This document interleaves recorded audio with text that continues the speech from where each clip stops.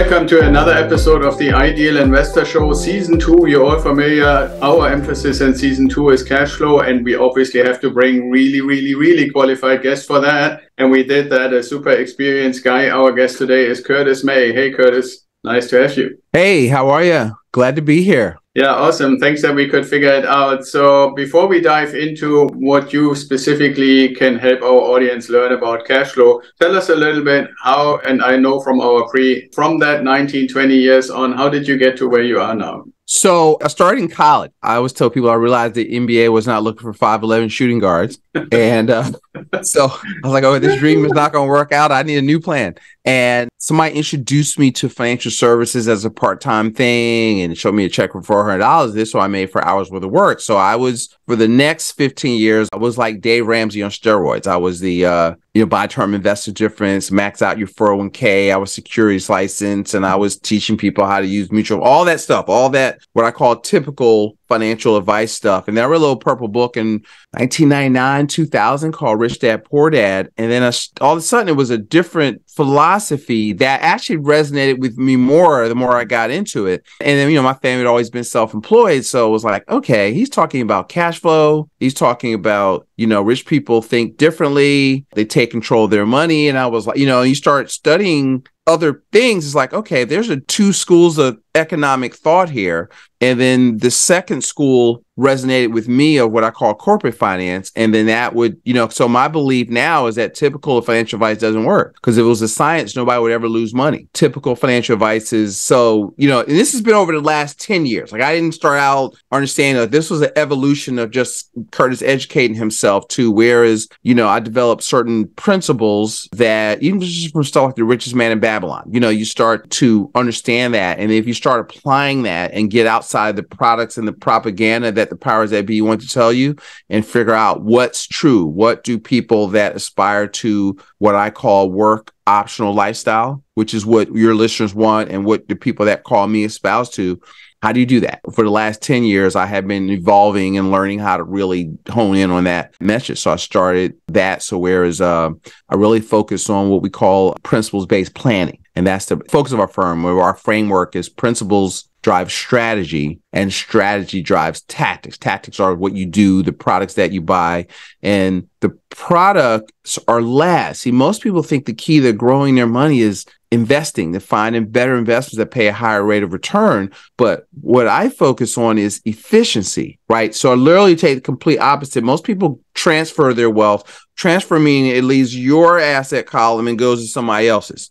Okay. And so most people are involved in that over their lifetime and they're really transferring away two to five million dollars per life per household in their life of money they're giving away. And so what I do is instead of focusing on winning investments, I focus on let's, you know, if I could put a check of two million dollars in your account, would that be a conversation that you want to have? If I could get it all back and put it in there, go, yeah. So people don't know if I can do it or not, but I guarantee they're rooting for me to see if I can find that money. And so that's kind of, that's a long mouthful I just said there, but that's kind of the how I've grown from just a typical, you know, here do this, buy term investor difference, max out your 401k to kind of what I teach now. Yeah, that's very cool. And I mean, what stuck in that explanation that you just gave in my mind was the term efficiency. So, can you give a few examples where you kind of compare and contrast what you would say is efficient versus not efficient? Yeah, so most people believe that the key to growing their money is to take risk, right? No guts, no glory. And they're always looking for better products that pay a higher rate of return. But risk is probability of loss. It's not opportunity for gain, right? So what happens is I look at six things really. When I when somebody's working with me, I look at one, most wealth is lost by how people manage cash flow or don't manage cash flow, right? And they're budgeting or in business, they're looking at their profit and loss, but that's looking at history, right? You're looking at that's like driving a car looking through the rearview mirror, right? And I want you, I teach people to look through the windshield. So you want to give your dollar a job and assign it, right?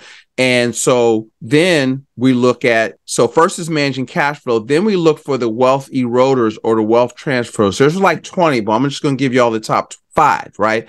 So after cash flow management, then it's how you pay a mortgage, like 15 year mortgages, sending extra payments, all that stuff this is going to step on some toes, is a complete waste of money. All right. Because getting out, paying off your debt earlier does not make you richer just because you're saving money interest. Saving money interest doesn't make you money. It just you're transferring again your capital to the bank. Right. Is what's really going on. Right. And so Kiyosaki has a saying, mind your own business. Well, your business is your asset column. So you need to get in there and leave it in there. The second transfer is taxes. Okay. So let's say you're W 2. Well, one thing, first things I look for if I work with somebody, what did you get a tax refund last year? Oh, yeah, I got $5,000. Okay. That means your W 4 is filled out wrong because you're giving Uncle Sam a interest free loan for five grand, and that's money you're not saving. Right. And right. so you need to get with that and understand taxes your number one expense. Right. And so everything when you look at rich people is to mitigate current and future taxation. So I'm going to do a show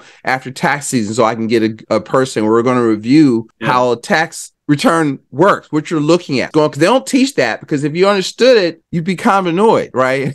so that's two, right? The third is how people fund qualified plans. Whereas everybody, Wall Street, the banks, the they all love qualified plans, but if you really understood that they really just do, they defer taxes and they defer the calculation of those taxes. And if you really understood that, you might look at how you fund those differently. So uh, that's a big wealth transfer. I go into these a little bit deeper. Before you go to the fourth one, the one thing I want to interject here, real quick, is I think it's not just deferring taxes; it's also using something and you and I are so well aligned I have to mm-hmm. point this out right like there's this saying I'm pretty sure you would agree hope is not a strategy Hope is not a strategy. Yes. And that's uh, one of my uh, favorite things. but if you think about it, what you just said with the tax deferment in the qualified plans, in a sense, in the biggest sense, I believe people are not made aware that they're using hope in this context because they hope that the tax system will be equal or better to their advantage by the time these qualified plans actually mature.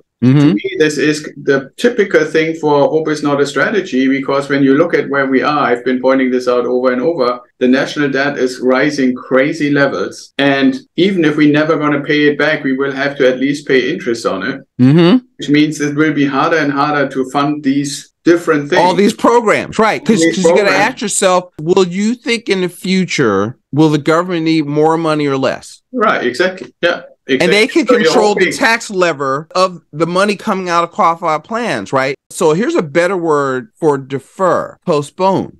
And hope. Postpone. And hope, right? So you're postponing the taxes and you're hoping that, you know, because people have this assumption, and this is what like accountants and other people, is they assume, oh, you'll be in a lower tax bracket. Well, that means you're poorer because it doesn't go down because you're 65, right? So you're hoping you don't know what you're. I mean, you could argue we're historically low tax bracket now, right? Now here's the other thing. Now you got me going. So the average, so 90% of households in the country in the US make $120,000 a year or less. Okay.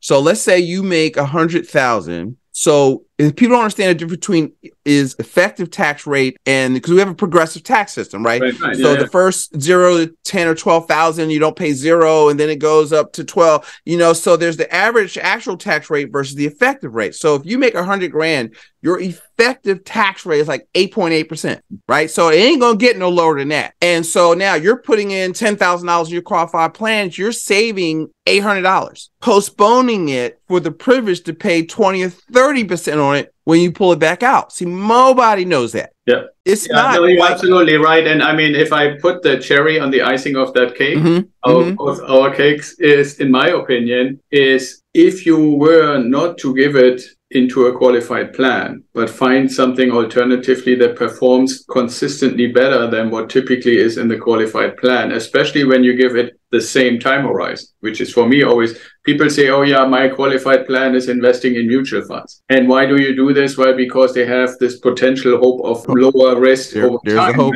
I'm yeah, saying, okay, I can show you bunches of investments, especially since at Ideal Wealth Grower we focus mainly on residential real estate where if you're willing to say, okay, I have 20, 25, 30 years ahead of me, they always outperform you. There is not even a contest, especially because they have so many other things than just sheer appreciation. But my point is, the money, that was $800 that you're basically deferring, if you can compensate that through efficiency or performance, that money right now is way more worth those $800 than later on when you actually have to basically pay way more. That's also for me always the agree that yeah, because of inflation, your money Yeah, will exactly. never be worth more than it is today. yeah, exactly, exactly. Right. And the institutions know that. So why do they, you know, make it seem like they're doing you a favor by locking they would never lock their money up for 30 years with no control over it. Well, I mean, they're kind of willing to do it. And I really think you made a brilliant point when you said, you know, with the mortgage, I think that was your number one thing, is if you really think about it, you have a 30 year mortgage that you did two years ago at, let's say, 2.98%. You would be an idiot to give that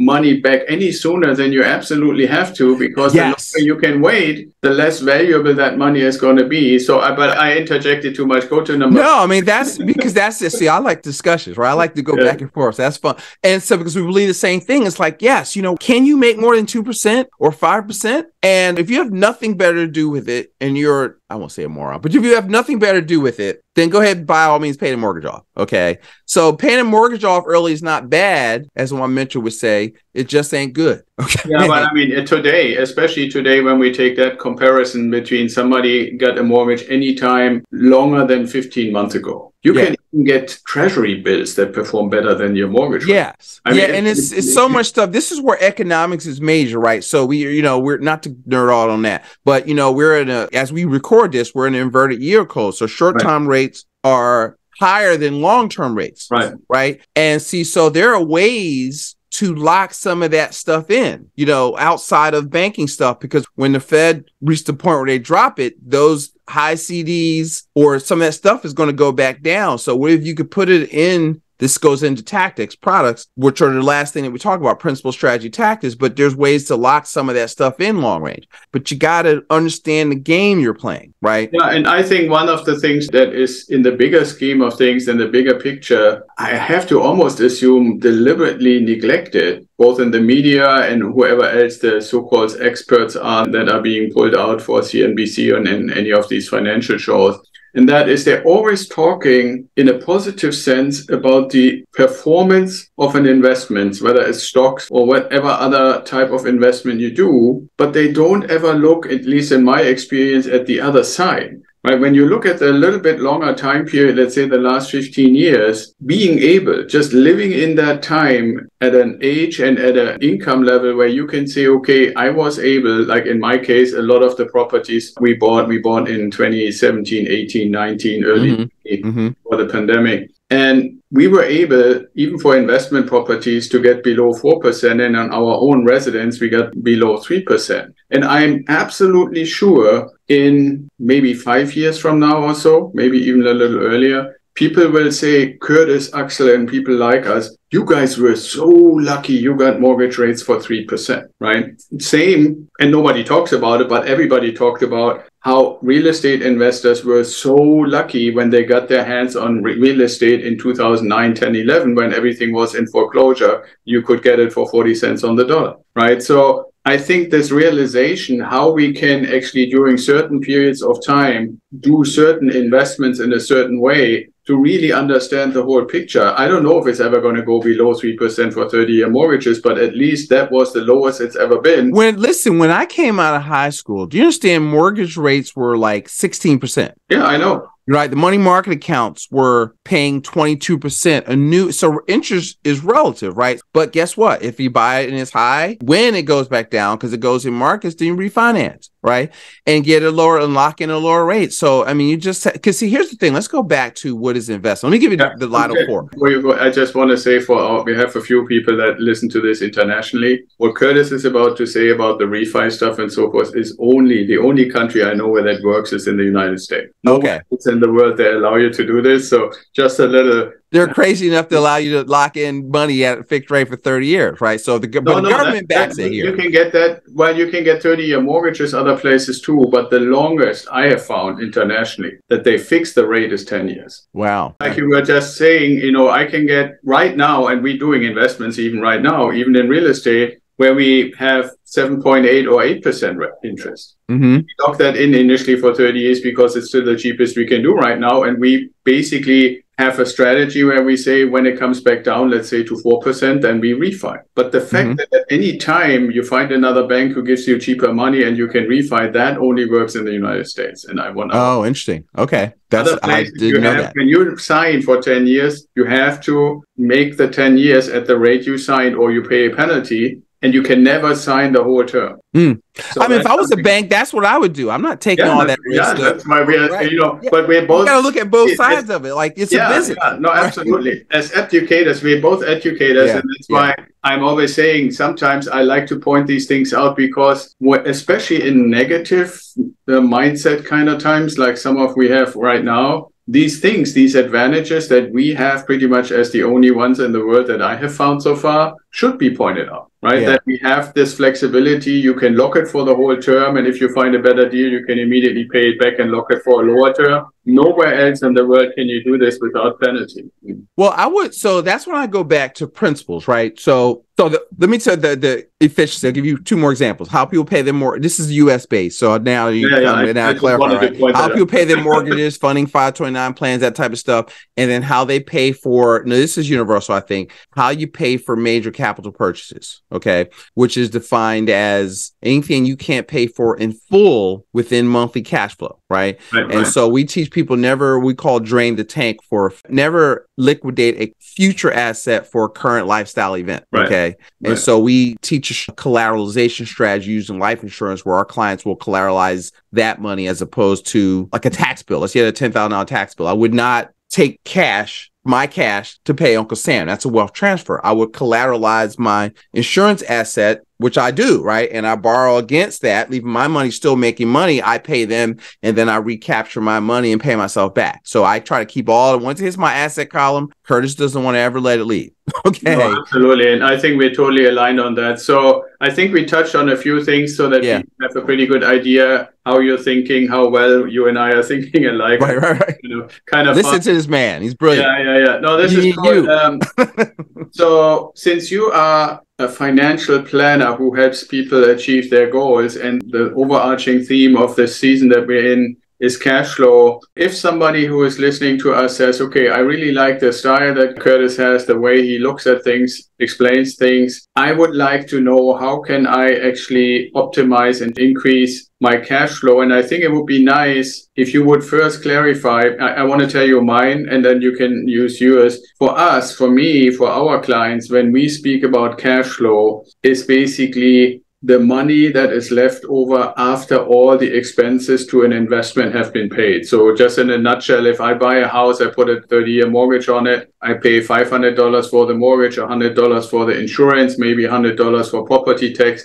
and $100 for property management. And my rent is, let's say, $1,200. So I have $500 left or $400 left. And that left over after paying all expenses would be the cash flow, right? So I, you might use slightly different calculation, but if somebody said, okay, I want to optimize that, I want to get as much of that dependently coming to me, how would you advise them? Okay, so that's yeah, I have the same thing. You know, I use the Jim Rohn definition: being able to live like you want to live from the income from your personally invested assets. Yeah, exactly. Not working, right? So we call it financial free. So I don't, we don't talk about retirement, but I think we're saying the same thing. I could see you want f- to be financially free, right? Which is passive income greater than your expenses, which is a capability, meaning you have assets. And so now what I talk about are there's four asset classes. So I'm actually asset class agnostic. Okay. There's business, there's real estate. So, you know, if you can develop passive income for within your business, meaning you don't, you're not involved in your businesses generating money. Right. Um, so in our process, in our planning process, we delineate between that. We focus on getting out the rat race because see, typical advice is not designed for you to become financially free. It's designed to develop assets under management for the institution. But that's not, see, I define success as helping my clients become rich, helping my clients have the capability of financial freedom. So now you have to focus on that because that won't happen ordinarily. So what we do is we one help people find money they're losing unknown unnecessarily so that you can save. You can see what I teach you the five principles. So the five principles to help our clients become and remain financially free. That's the objective. So let's start with that. So principle one, you got to save. Mm-hmm. Save what? 15, 20% or more of your gross income, right? Now, let me define savings. 401k doesn't count, right? If you're in the US. Uh, that's not savings because it has risk. It goes up and down. So savings, safe, liquid, accessible, guaranteed. Okay. So there's only a few things that you can store capital in that does that. But the habit I'm concerned with is savings. We literally say, look, I want you to look at your pay or look at your profits, and I want you to look and save. Or after, like, so let's say, for example, after you get the property and after you pay the mortgage, that's your profit, right? So you can save all of that, or at least 15 to 20% of that goes into, we call it a wealth coordination or wealth capture account. And I want you to literally, because see, savings has to be automatic and systematic right? right? That's the start of velocity. What we teach is velocity of money over investing for capital gain. And so the second principle is protection. See, most people skip this step. They want to jump right to investing. See, the financial plan precedes the investment plan or the business plan. So you have to play defense. So Curtis is the defensive coordinator, right? Because let me go back to what investment. Investing is not about buying something, it's about becoming something, right? So you have to become a good business owner. You have to become a good real estate investor. So you got to learn how to do it. So your first investment is in between your two ears, right? Your mindset, your skill set, your network. You have to become. There's the other asset class is paper. So paper is not just stocks, bonds, and mutual fund. It's notes. It could be tax lien certificates. It yep. could be private lending. It could be life settlements. And there's all kinds of stuff outside of you know, bonds and stocks and ETFs. I mean, there's other stuff. So you have to educate yourself and you have to figure out. And I, I try to tell people what to invest in because it's not my job to tell you what to become, right? You got to find out what you like. I, I like business. That's my my favorite because I can make mm-hmm. business is it for me because I grew up. My family was self employed. Is the fastest path to cash. Like I think in turn, I could. I'd rather find something, sell something, create something, sell it. Boom. Now I take the profits and the profits go into real estate so i can generate passive income right. minimize my tax you know so there's a there's a formula because it's, it's, just a formula what is your formula right and the fourth asset class is commodities but oil and gas gold and silver but i don't view gold and silver as investing i view it as money like i view it as insurance really so i don't i actually my recommendation for our investors or for our people that come to us for similar reasons is to have about 10% but not in what i call vapor gold or vapor silver but in actual gold and silver coins. Yeah. And kind of for two reasons. Obviously, there's one main reason is universality. And what I mean by that is nowhere has there ever been a time where you couldn't go with a silver coin to any bank anywhere in the world if they are operating. Don't understand the difference between currency and money right? And fiat currency, money by government decree, or these silver coins or an ounce of gold that buys today what it bought 2,000 years ago. So it's really a store of value. Right. Yeah, exactly. But my point is more if you happen to go somewhere, right? Like, I mean, I'm always saying the proverbial shit hits the fan, right? So you want to have a plan B, some location that you have maybe gone on vacation or staked out, or you maybe even bought something uh, where you think if it really gets bad, I that's where I want to go. But it's not yeah. very likely that under those circumstances, especially when it's economically driven, that you're going to come with a big stash of dollar notes. Right. But you also don't have to be too worried if you have like a couple of silver coins and a couple of gold coins. And this whole argument they're not transportable. I mean, you can have easily a hundred thousand dollars in gold coins and you put them in your wallet, right? I mean, it's not that much weight or anything like that. So it's you can use yeah, it anywhere yeah, yeah. in the world, or have it where you want to go already. yeah, right, exactly. So, but, but the other the other part that is maybe a little underestimated, rarely ever spoken about, is that there are things just in general that have limited quantities and their value is not purely the value of the material but it also has in a sense a collector's value. Yeah. Right? So if i just get a little gold bar like you know from the us mint or something like that then what i get is basically the current value whatever it trades for $2000 an ounce right. or something like that if on the other hand i get basically a 199.99% pure gold piece of art right in the form of a coin. Right. There's in in the vast vast majority, and it's kind of similar to a painting or stuff, or like Yeah. a bottle of wine or bottle of whiskey or stuff. There is only this one time when these are being created, and there are people out there who say, you know, I want the Mona Lisa or gold coins, and I'm Right. willing to give more than just the pure per ounce value. So it's one thing, the universality that you have with it, but the other thing is also the the possibility that you end up having something that anybody is willing to give you more for than just the pure value of, of the metal, right? So Yeah. that's and then it goes back to becoming right so you'd have to know that and that's why you got to you know learn about how stuff works and and because what we do is we abdicate go, going back to hope is not a strategy we we did basically the school the powers that be teach you know you don't have time to temper training to manage this stuff. So basically give your money to us right? And so what you have to do what i want people to do is to focus on cash flow. So you literally need to look and say all right listen i'm saving I've protected. So I've got proper insurances, asset protection, umbrella coverage, you know, because you could, there's we, life, you're going to have one or three problems. You're going to live too long, you're going to die too soon, you're going to get sick. So you have to, before you even get into all the other stuff, you have to play defense. You have to protect yourself Yep. from all kind of eventualities. You, I want, my third principle is full replacement of assets at death, guaranteed. Uh, the fourth principle is six to 12 months of cash, of, li- of your income, Hmm. liquid. Now, not in cash, like sitting around or just sitting in the bank. I mean, I, I show people different locations uh, of where to store. Like, at, like in the U.S., we teach how to use properly structured uh, permanent or dividend paying whole life as our storage facility. And then now I can have it, but I can collateralize, so I don't have to liquidate to use. All right. So now I get the benefit of tax free growth, uninterrupted compounding. Then the fifth principle, getting to your point of financial freedom, is velocity, right?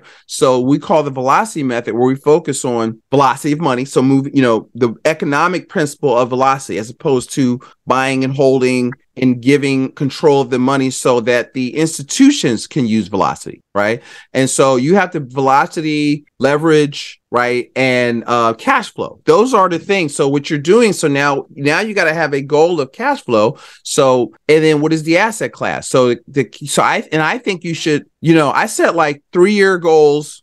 So our goal is financial freedom in a decade or less, right? And so, but you work backwards. So it's like, okay, is it is it real estate? Well, okay, then how many properties are you going to buy this year, right? How many offers do you you know? You have to break it down so you don't Right. focus on the thing. You have to focus on the work, you know, that it takes to do that. But now you're measuring. Okay, well, this quarter I've got to make five offers, and I need to get this, and I want to grow my cash flow by eight hundred dollars a month or whatever, five hundred dollars a month and then, so can you buy a house a year for the next 10 years or two houses a year or, um, or apartment building a year for, and so you focus on that. And then I teach a strategy. I'm going to do a show on this week on the, the, uh, studying Buffett, right? The magic of compounding assets. So he took Berkshire, right? And then when he took it out of textiles and then then he bought other assets with that. You know, Right. he- he bought Geico, and then he, you know, he bought shares of Coca Cola last year. I think uh, Red was it last year before last. Coca Cola stock paid him seven hundred and fifty million dollars in dividends. Yep. You know, same thing with uh, American Express, right? And so, but he's bought. He let his main asset that generates revenue buy other assets. So people talk about compound interest. How let's get the because you know stocks don't compound. Stocks go up, they go down. They appreciate. That is news to a lot of registered reps. Like they don't earn compound interest, right? Because they reflect it as a rate of return. But see, we're going back to hope is not a strategy. If you have a hundred thousand and the money drops by, you know, let's say fifty percent for easy math, you have to earn a hundred percent on that portfolio to get back to where you were. That's not, you know, so when you see these numbers, they're very disingenuous, you know, in terms Yeah, of and, and I think that I, I totally agree with you, Curtis. And and we can actually use a, a real example. I mean, if you just look at 2022, we're all now in 2023, especially tech as, uh, assets or stocks that a lot of people were very much into together in a basket lost about 30% on average. Mhm. But that means, okay, so if I had on average the stock price of $100 and it went down to $70 now. So how much percentage wise does it have to go up to just get back to $100 from 70, right? That's almost 50% that it has to go up 45% or so, not 30. And Right. that- those kind of things, it's the same thing I've been struggling trying to help people to understand the difference between linear, linear growth and exponential growth, right? Because when we're going back to our topic of cash flow, you said, okay, in a linear world, in a linear mindset, you might say, okay, if I say I want $4,000 as my current life money that I need to, to have the freedom, and I make $400 per house and I need 10 houses. Right. Right. That would be linear thinking. The reality is that would mean you would never raise the rent. Mm, right. Which is obviously stupid. If you say Right. this is my 10 year plan, I buy a house every year in a linear way, one house per year for 10 years, then I have my $4,000. But the reality is, latest after two years, you're going to increase the rent, right? In addition to And that, hey, so inflation helps you, right? Because just it drives the property up. Well, inflation cost of living goes up, so you have to raise the rent. Yeah, exactly. Or you can raise the Then, rent. since I, I was just triggered by because you talked about compounding assets. Right? Yeah. So let's just say, okay, I do this for three or four years, and in the first few years, I, I just have enough to buy one house a year. So now I have four. But in those four years, these houses have also appreciated, even if they're not home runs, Right. but they appreciate a little bit. So now I can go and say, okay, I get a line of credit on the appreciation, and now I can, in the next year five, I can buy two Uh, because my velocity of money. and your Absolutely. knowledge is going up. Yeah. And so now you know how to do it more efficiently, you know, more efficiently. And so you got to take that in because now you've learned, hopefully you're learning, you're studying, you're learning new strategy, you learn how to raise capital, you're learning other stuff. So because see the three rules of investing that we teach, so we, so we actually do a one page game plan. So when you're talking about what do we do, I teach a one game I, I give people like uh, we analyze your stuff, we break it into the principles, we look for efficiency, right? And then I teach so the five principles, and then I teach the three rules of investing, right? Invest in what you know, right. or invest in knowing.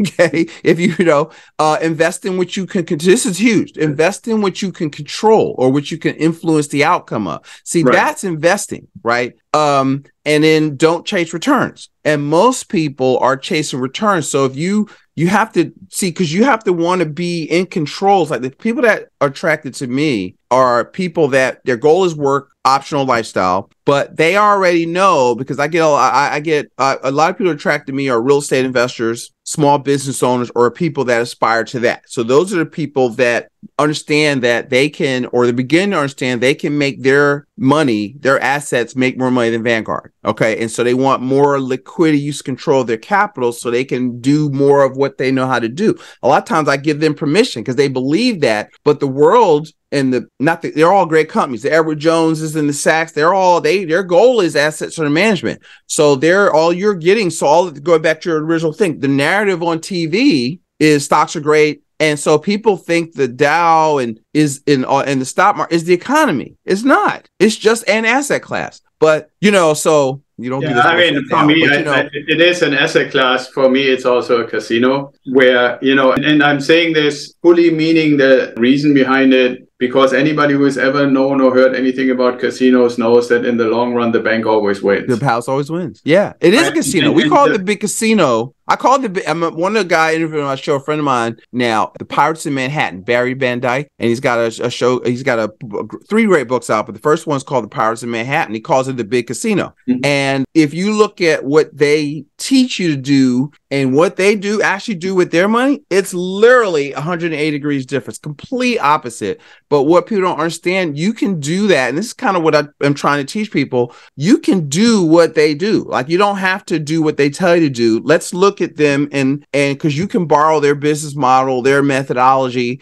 and those strategies work in personal finance. Yeah, absolutely. I'm totally does. with you. I mean, the, the Yeah. difference is you cannot, if you want to invest in the Nasdaq or in the S and P or in the Dow, you cannot really directly influence these companies. Yes, you might have a vote when they have their shareholder meeting, but that's about it. But not really Yeah. influence. Versus all the other things we discussed today, you can really take a ownership in a sense, Yeah. And, and that ownership allows you to have control. And I think that's the huge difference. Yeah, if you control how you buy stuff, you control Yeah. refinancing. If I put a dollar in my business and invest in marketing and make two dollars, that's a hundred percent return. See, Yeah, I'd rather do that. You yeah, know, yeah totally totally so yeah i think we really covered this very well and and i think the audience got a pretty good idea why it's probably advisable like i always keep saying is turn that off and really educate, you know, invest in, in knowing stuff. Cut the news off. yeah, yeah, exactly. Turn the news off, invest in knowing so that you can then invest in assets now, at the end of the show, which we're getting rapidly towards, uh, Curtis, we always ask two questions that are not really directly related to the topic. And the first one is if you could meet anybody, past or present, who would it be and why? One of the guys, one of my, my favorite entrepreneur is S.B. Fuller okay, who's little known. He's like my entrepreneur hero. He's from Chicago. He was like a multimillionaire black entrepreneur during segregation from Chicago. And he built uh it was written about in Dennis Kimbro's book, Success Secrets of Black Millionaires. And he's the kind of the model I follow, where he basically taught sales and empowerment and entrepreneurship as the key for what ails the African American community. And he was ostracized by the powers that be that wanted to go march around for civil rights, and yeah. uh, which is important. But I'm saying is, I want control. Like my my dad' favorite song was a James Brown song. It was called "I Don't Want Nobody to Give Me Nothing." Open up the door, I get it myself, right? And so he was very much, you know, young entrepreneur trying to control. So I I just I model a lot of his thought process, and I wish I could, you know, spend a lunch or afternoon with him through the fifties. And and uh, he used to teach a class every Saturday called the Gospel of Success. You know, one of the people that was in that class, Mary Kay Ash. He said, "See that white girl up there? Well, she's going to out earn all of y'all because he was giving away Cadillacs to this sales team yeah, I know, in the fifties. Yeah, and and she was in that, and boom, that's where all this stuff comes from. So that's that's one of my favorite people. That's a long answer, but that's that's no, that's very cool, and I always appreciate when there's a little bit of an explanation with it. And then the final question is: If you had a time machine, you could go forward, backward, in good Star Trek fashion. You can't change the time space continuum, but you know. Okay. Yes. So where would you go and why? Never thought about that. Let's see. I like it here.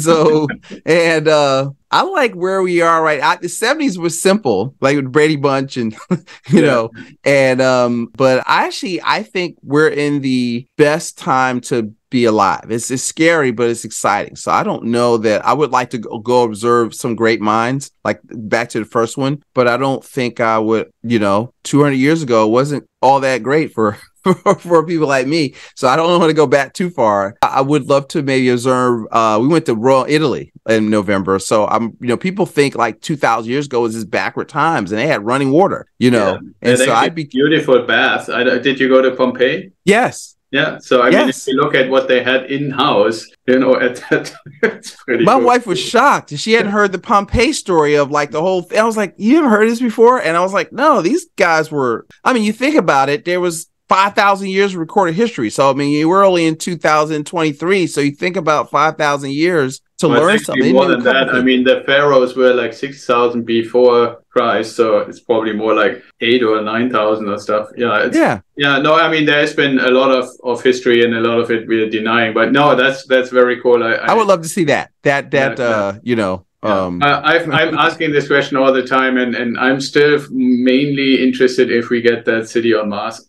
mm-hmm. I, I want to go like to 2060 or so and see if it actually came a reality. You know. Mm.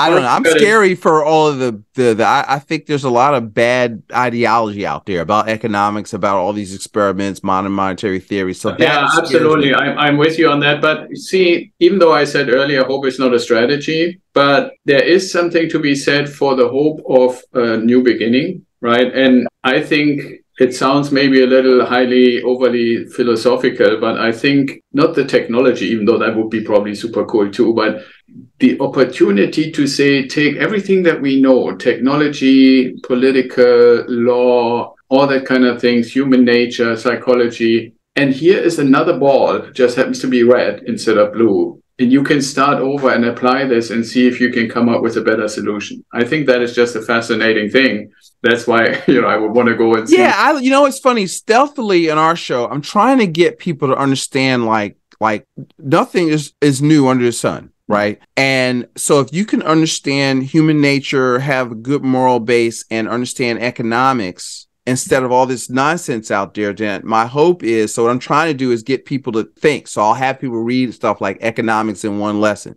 or the law by Friedrich Bastiat because I'm trying to like, okay, here this stuff has been tried before and you need to like understand the fundamentals and then I'll build the financial stuff because I want to build on principles. Principles are unchanging. So people say, oh, you don't understand. It's new now. There's Bitcoin. No, principles don't change, right? You know, so if you read The Richest Man in Babylon, it's seven cures for a lean purse. Well, those are principles, right?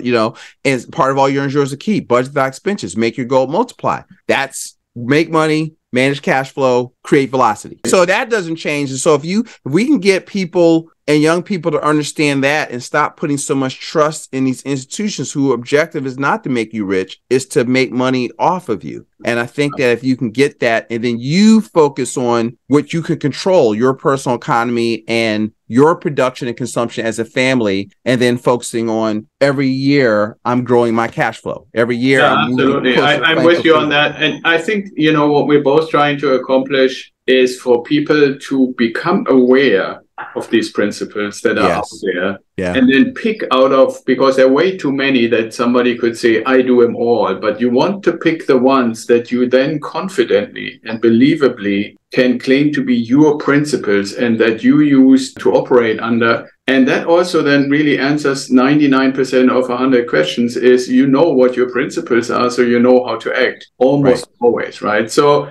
with that being said, I think that's a good capstone for our conversation. So if people say, hey, I really love this Curtis guy, how can they get in touch with you? Well, I'll give you a couple ways. So listen to the show, go to the Practical Wealth Show, and you can listen to more or the on YouTube search for the Practical Wealth Show, and you can find more of the what I call the madness that is Curtis, the contrarian, right? And then I would go to our, uh, check out our website, Practical Wealth, www.practicalwealthsolutions.net. That will take you to all my stuff. And then if you like, you want to, I have a report we give out called Creating Wealth with the Velocity of Money. So if if y'all will text "Be the Bank," all one word, all caps, to 55444. We'll send that out to you. You can begin the reading. I, you'll find very much a financial educator. So on, through the show, I'm trying to educate you because if you don't like, if you don't want to think and you don't want to be in control of your money, I'm probably not a good person to call.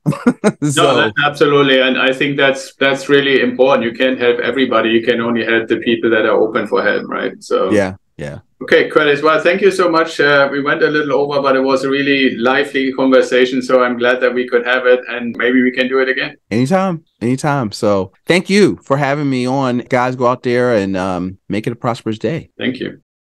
Thanks for listening, and I hope you enjoyed today's episode of the Ideal Investor Show. More info and the links we mentioned during the show are in the show notes, or you can go to our website at idealwealthgrower.com and sign up for the Apple Podcast link. And if you like to talk to me, sign up for a strategy call. Hopefully, you want to share what you learned with your network and bring more people in. We are really eager to hear your comments. And until next time, be well, stay safe safe, and ciao.